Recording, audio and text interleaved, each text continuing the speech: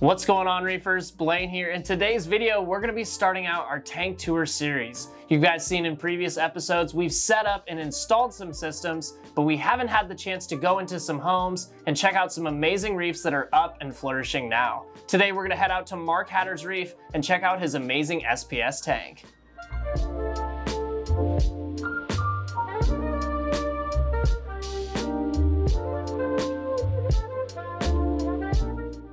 If you think you have a reef tank you want to show off on the Top Shelf Aquatics YouTube channel, be sure to reach out to us by email, on our social media, or give us a call.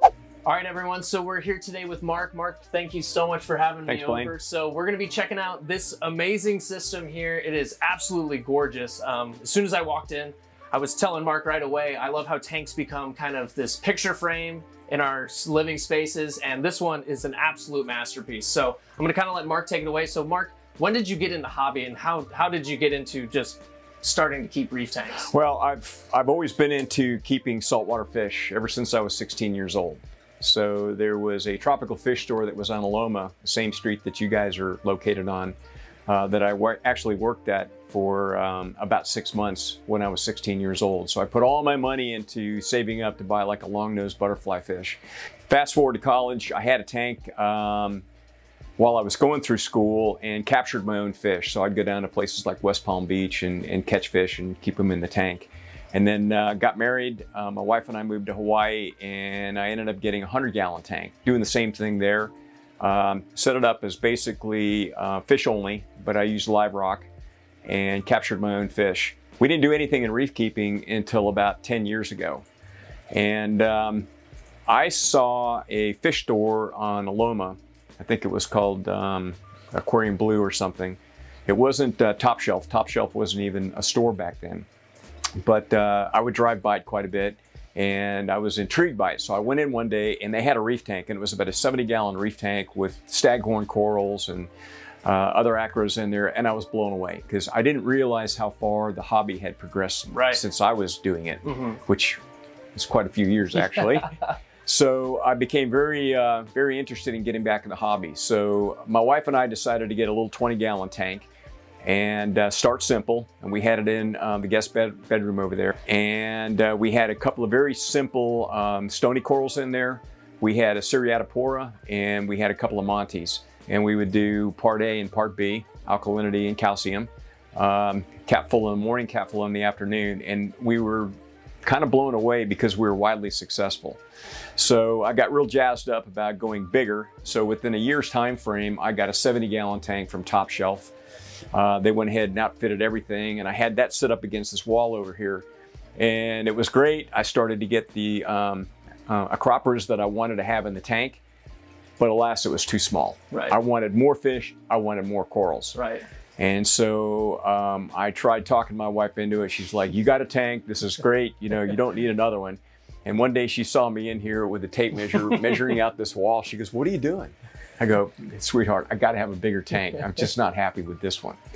So ultimately, we settled on this. It was a custom build. Um, when Steven had the store down south, Okay. uh, I ordered it through his guy down there and was very pleased. The quality of the shelf um, or the uh, cabinet and the quality of, glass of the tank was just stupendous. It's beautiful. So- it's really, really nice. it's a custom size. I wanted something that was a little bit deeper in depth right. to give me um, the impression that I'm looking deep into it. A lot of the uh, Mhm. cust- uh, non-custom tanks just aren't wide enough for me. Yeah.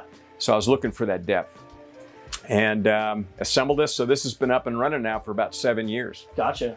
And some of the corals that we had from uh, the original 20 gallon tank, uh, we have the um, Montiporas. They're still in here, Okay. pieces and parts of them Yeah. from when we first started 10 Wow. years ago. Okay. And then in the 70 gallon tank, I've got a hoeksemai, uh, Cropper hoeksemai right up here uh, that I bought as just a little frag. And it's interesting because Corey, he basically is really interested in the hoeksemai. So Yeah. when he found out that I had some, he goes, "Oh man, have you got some of that? You know, we'd love to have some at the store." Mhm. So every time it gets too big, I'll go ahead and uh, trim it on off and call you guys up and you know, Corey seems to be pretty anxious to For sure, to yeah. I mean, it's really cool. The growth structure on it's really, really cool. Yep. So, what's the size of the tank? What's the so that gallon it's it's a, size? it's it's just shy of 180, okay, just shy. Yeah. gotcha. just and, shy of 180. And that is that in including the plumbed in tank down below, No, or is that's just this system? Just this, and then 180? this is a, a 40 uh, gallon tank that's plumbed into the main tank. gotcha.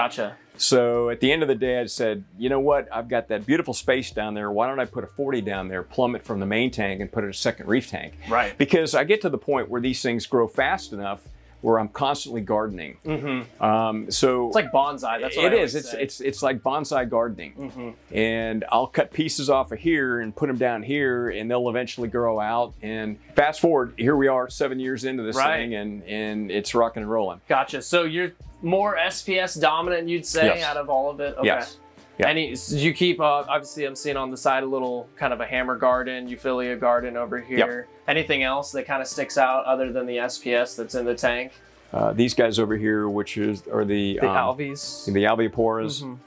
So I, I kind of have A mixture. a mixture in here, but the other thing is, if you'll notice the fish in the tank, I I have pretty much a, a Fowler type tank, yeah, I was gonna but say. I have a reef tank environment. Right, I was gonna say you have butterfly fish, you got angelfish, you got all kinds of fish in here that not everyone says is reef safe, but Yeah. you got a reef tank running with them. So I wanted to push the envelope, and I know that these things are considered to be um, with caution, Mhm. add with caution. Mhm. So yes, they pick on the corals. If you're looking for polyp extension in my tank, you're not going to find it. And that's because the butterflies and some of the angels go through and they're nipping at the corals all day long, so they're extracting their Right. their uh, polyps. But I'm okay with that because I wanted a more reef-like environment, Mm-hmm. Yeah. something more natural. Right. I wanted to try to mimic as much as I possibly could, you know, a real honest to God reef, Right. which has butterfly fish Mhm. and has angelfish things, and right. all those things, you know, which can be, um, you know, detrimental to corals. Gotcha. Speaking of fish, how many fish do you think you have in the system at this point, and what's the kind of main groups that you got? I see you got Uh, some surgeon fish, you yeah. got your butterflies, angels. You kind of have like Probably, you said, a probably about 20 fish in there right now. Gotcha. Okay. So I've got, um, we'll try to add them up here. I've got uh, four different angelfish in there. So I've got a regal angelfish, I've got an emperor angelfish, which is going through changes. Yeah. I bought that when it was small. Flame angel, the coral And a coral beauty. Yeah. Okay. So those are the four. I've got uh, a pair of butterfly fish. So those are the crosshatch butterfly fish. Uh, I've got uh, three separate tangs in there. I've got a hippo, Achilles tang, and then a naso. Uh, we love this guy right here, The Midas the Blenny. Midas Blenny. Yeah. Every they're probably have the, the best personality They have of all they, the reef fish in the they tank. have really great personalities. Yep. They're goofy, goofy Yep. fish. I see you got a bunch of damsels too. Were those fish that you added in the beginning that have kind of stayed in the reef over the course of time, or do you have them in there because you like them or have purpose to them? I like them because they were cheap and they had color. For sure. So I've got a pair of these yellowtail damsels, and they're pretty innocuous and don't bother anybody. Gotcha. Uh, in fact, they actually spawn. So I've got a male and a female in there, and um, they'll go through spawning behavior, and I'll find the eggs every now and then, you know, tucked up deep inside um, underneath the coral. Do you have any aggression from the clownfish as well? I've seen you have clownfish Yes. and you have a bunch of different spots for them to hang out with the anemones. It's really Yes. cool. I love how you've got multiple, once again, pushing the envelope with multiple species of different clownfish and having them into a tank with each other. So the answer is yes. If I stick my hand in the tank, the clownfish will come out and attack me. Right. But one nice thing, even though uh, clownfish are damselfish, hmm um, they stay in their anemones. So um, consequently, once they're in the anemone, they pretty much are, you know, Bound to it. bound to it. Yeah. Um, I've got two pairs in there. I've got the skunk clowns over here, and then I've got a pair of uh, perculas in the back. And they actually spawn on a regular basis. Obviously, you have a ton of really nice corals. Is there a way that you've helped keep them in the same place to not make them walk or not allow them to get roaming around and start Yes. stinging things? So this guy right here, I originally had on the floor, Okay. and he was not happy, not getting enough light, and he was kind of moving all around the tank. So I figured he needed more light, but to get him up was somewhat of a problem. So I went down to the store and I got one of those um, bridge rocks and then took a flat rock and then bonded it to the bottom of it and then took another flat rock and bonded it to the side. Made a bowl. Made a bowl and, and then bonded it to the inside over here so it's actually negative space underneath. I love negative space. Yeah, yeah, yeah. and then filled it with sand and then stuck him in there and he never moved. Was that so? That was something you did actively when the tank was running already. Yes. You had had that, Yes. so you created that structure while Yes. it's going. Okay, wow, really cool. So Hasn't moved since. it hasn't moved since. How so long ago was that when you did about that? two years. Oh, okay. Yep. What are you doing for cleanup crew in here? I see you got a cleaner shrimp back here with his little station. What do you What do you got for your cleanup crew? I've got uh, five different cleaner shrimp in there. Um, I've got a bunch of con- uh, conchs on the bottom. They're all buried right now. Mm -hmm. Uh, I've got some larger snails, some trochus snails in the back. I've got some sea urchins in there, and I've got a giant uh, sea cucumber Okay. That I bought was the size of my little finger. It's now about that long and about that big around. Mhm. What are you doing for feeding on the tank? What's your feeding schedule? What are you feeding? I typically feed uh, once a day, and that's frozen food, and then I do nori in the evening. Okay. One guy says you cannot put angelfish and butterfly fish in a tank. It just it won't work. And it's like, well, this is prime example that it well, works. it does. It can work. It can work. I'm not going to say that that everybody can do it, but I wanted to try it to see Right. if I can do it. Yeah. And you know, it's worked for me. For sure. So these type of butterfly fish in particular um, are not uh, corallivores, strict corallivores. So they'll eat everything. They'll eat everything from macroalgae to um, you know clams, stuff like that, uh, as well as pick-on coral polyps. But it's not their primary diet. So I figured I could try to get away with those, and I got them when they were small, yeah. and I put them down here in the bottom tank at first, and tried them down there, and nothing died. hmm So, So after about six months, I went ahead and moved them up to the main tank, and it's been fine ever since. Yeah. I've had them about three years now. You think that's why you're maybe having a little bit better success is getting them smaller, maybe younger, and then trying to train them Yes. to the to the uh, Yes. kind of lifestyle in a system. Yep. Gotcha. Because they then know that they're going to get fed things Yep. like that, right? Then they won't go after those things scavenging in a way. Yep. Now I've heard horror stories about uh, emperor angelfish where once they change, uh, they suddenly like to munch on other, oh, other interesting. things. Okay, once they transition. But and I had some um, um, some soft corals in there. Um, I'm having a um, senior moment on those right now, but I, I had a whole bunch of zoas. Thank you. Okay. I had a bunch of zoas in here on the side, and they mysteriously started to disappear. hmm And then one day I saw one of the small angelfish wailing away on them. And I went, okay, that's the reason Yeah, why they're just eating them. So zoas are no no. They're not going to happen in there. Mhm. I've been, um, knock on wood, successful so far um, with the um, the ones that I've got in here. Yeah. The euphyllias, they pretty much leave those alone, which is nice. Um, yeah, the goniopores, they leave them alone. What's your maintenance looking like? How, how often are you doing maintenance and what's your maintenance schedule? Um, water testing, I test probably every other day when I'm not on travel for phosphates and nitrates. So I want to make sure that, you know, I, I don't have a lot of variation going Right. on there. hmm As far as alkalinity, calcium, and magnesium, um, Got the trident. the Trident right there does a fantastic job doing that. In fact, I almost got out of the hobby because I got into a problem where you can reach a point where the tank becomes so successful that the corals begin to strip out all the nutrients. And Right. if you get lazy and you're not doing the testing, Right. you won't know. For sure. And so what happens is when they strip out the nutrients, suddenly they stop consuming alkalinity, yet you continue to dose alkalinity and calcium. So the alkalinity goes up. Right. Meanwhile, your nitrates and phosphates bottom out over here, and then you get um, uh, burn. Tips, uh, uh, the growth tips begin to burn. And so I lost a bunch of corals when that occurred. So I went ahead and uh, got the Triton. That was kind of late in the game. Mhm. And while I had that um, that same problem where I got the nutrients all whacked out, I ended up getting uh, dinoflagellates. Mm. And that almost got me out of the hobby because I tried very hard to get rid of them using all the conventional methods that you hear Mhm. about. I tried doing the um, uh, the blackout temp. period. Higher temperature. The I didn't try the high temperature, but I, I did, uh, you know, the blackout period. I did um, hydrogen peroxide, Yeah. dosed that in the tank. Yep. Nothing seemed to work. Hmm. So, as a last resort, I got a UV uh, light system in here. Okay, gotcha. UV sterilizer. Yeah. I put this uh, Mondo UV sterilizer in here. Five days later, it was gone. Do you run that 24 7? 24 7. 24 7. Change okay. the bulb once a year. Okay. It's got a nice sleeve in it. I think it's a 40 watt. Uh, it's hooked up to a big pump down there, so it does about 1,200 gallons an hour Gotcha. of Okay. return, Yeah. which adds more flow to the nice. tank as More well. flow as well. Yeah. For sure. Do you know how big the sump is gallons wise? I think it's probably 15 to 20 gallons. Okay, gotcha. And then you got the plumbed in 20. Maybe less than that because it's got a huge uh, um, RODI reservoir over here. Okay. So um, maybe we'll call it 12 to 15 gallons. So there's a protein skimmer in there. Uh, the RODI is actually hooked up to a seven stage filter in the laundry room. I ran the PEX tubing through the roof, down the wall, Oh, wow. and out through here into the tank. So it's hands free. That's great. Um, this tank needs to be hands free except for feeding Yeah. because when I take off in these, these Right. trips that I do, right. uh, my wife has to take care of the tank, and all she wants to do is feed. She doesn't want to do anything except feed the fish. Right. Makes sense. So Keep it simple. Got to got to keep it as simple as we possibly can.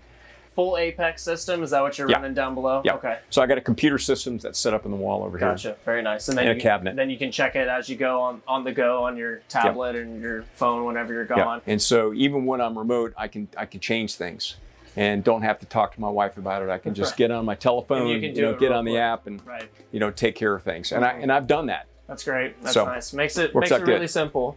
So plumbing wise, uh, this drains down to the sump, but I've also got a T fitting in here which drains down into the 40 gallon, and then the 40 gallon is drilled, so then it eventually drains into the sump. Gotcha. So, So, it is quite the big. it's like a little separate reef tank Yeah, it's like there. a separate. I know. I was laughing. I was looking at it. It's like people wish they could have a reef tank like that, and it's in the stand right now. So it looks it looks great. I've got T5s along with uh, LEDs in here. The LEDs are in the middle, and even though they've got reflectors on them, it just doesn't reach out all the way. The T5s reach out on either side. Gotcha. So you have one, two, three XR30s, and then Mhm. you got the two L, uh, T5 Yep. fixtures. Okay. Yep. How So- long are you running your lights for?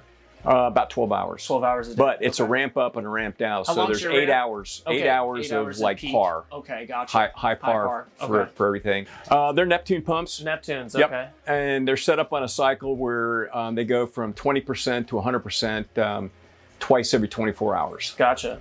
The four in total, and then you Yeah. have the return pump as well. Yep. Neptune return pump. No, it's a uh, Vario 7, Okay. Reef Octopus Vario 7. Okay. And then I've got a Reef Octopus skimmer down there. And I run the skimmer 20 hours a day. I shut it off for four hours a day because I also dose uh, Brightwell uh, amino acids. Are you dosing mainly at night that, or are you dosing that? I dose it during the day. During the day. Yeah. Okay. Because I think that's where, you know, most of the The growth of the stuff is happening. Right. What salt are you using for the tank? What's the salt that you're? What's the what's the magic sauce that you're using? Um, it's called uh, Reefer Salt. So um, it's made in Germany. okay. And I like it because it dissolves instantly. Mm-hmm. I mean, I, Quick, quick to do ch- water it, changes. it, it becomes like that. clear in a matter of like 15 minutes, Oh wow. Which is something I've never seen before. hmm And I just got hooked on using it, and I've been using it ever since. Now, having said that, I don't do water changes in the big tank. Okay. The only time I do a water change is down is for the small one now. Okay. Um, the reason why I don't do water changes is I use the modified um, or, um, or the hybrid uh, balling method. Mm. So I've got uh, trace elements in the calcium mix. I got trace elements in the alkalinity mix, and then I've got a third tank over here, which is um, the salt mix less sodium. And I've noticed that since I've gone to that, um, I have not had to do water changes to keep the coral colors. Right. It's been, you know, pretty amazing actually. When was the last time you actually did a water? Did a change water on the change? yeah. Six months ago, Wow. Okay. and when I do it, it's maybe 10 to 12 gallons. I was a just time. about to ask, is it so small? It's just a small garbage can. one. And it might be because I mixed up, you know, something for here Mhm. or you just have something left Yeah. over, things like Yeah. that. I wonder what would happen if I stopped doing it now that I'm doing the method. balling hybrid method. hmm And um, I've, I've been super pleased with it. How long you been doing that method now? Then about two years. about two years. Okay. Yep. Very cool. The other thing I've done is because I'm limited in space, um, typically when you're doing the two part mix, you'll have um, crystals, right? Right. So you have soda ash and then you have calcium crystals. And it's like um, a certain amount in a gallon of water. Well, I was constantly having to top things off when I did the regular mixture. So I started upping it. hmm so now I've got uh, double the mixture in here. Oh, So I've got uh, twice as much. You got a lot to. You got a lot of inside the tank, so that kind of makes sense. Yeah, well, it, it just it doses at the same rate as it, uh, it doses at half the rate it was doing before Mhm. because it's double the, um, the Double the concentration. concentration. So in one gallon, rather than four cups, I've got eight cups. And um, at first, I was worried that it would precipitate out and I would have a problem. And then the second issue was, well, if I start to add it in, you know, what kind of a problem is that going to create? So particularly for the soda ash, not so much for the calcium or for the salt. So what I ended up doing was um, I've got a little cir uh, circulating pump down there and I've got it just underneath where the drip hose comes in for the soda ash. So when it comes in, it immediately mixes it up and uh, does a good job doing that. So when I dose, um, I dose 12 times a day for um, calcium, 12 times a day for al um, alkalinity, and 12 times a day for the salt. So it's like every other hour. Gotcha. Calcium's um, alkalinity. Flipping back and forth. Yep. Yep. Very cool. The tank is amazing. Mark, you've done Thank you. an outstanding job with it. You know, we're going to definitely be showing off some closer shots as we're talking through and doing all this. It seems like you kind of like to do a more natural thing, and I, I really like that. You trying to create these actual boomies you'd see out in the wild, and you know you're pushing the envelope with all your different fish, all the different corals together. Um, so it seems like more of a natural side. You kind of minimal mechanical filtration, things like that. You try try to keep it natural though. Yep.